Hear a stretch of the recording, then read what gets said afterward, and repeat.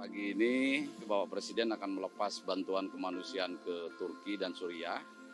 Setelah kemarin kita sudah mengirimkan satu tim Yusar sejumlah 50 orang, kemudian dilanjutkan dengan tim kesehatan 119 orang. Sekarang mereka sudah bertugas di Turki dan Suriah, khususnya di Turki.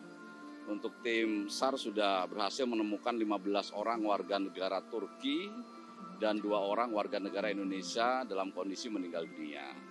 Sementara tim kesehatan juga sampai sekarang sudah bertugas di Hatay, Provinsi Hatay, dan per hari ini sudah berhasil merawat sejumlah 454 orang eh, warga Turki yang te, yang terkena eh, dampak gempa ini.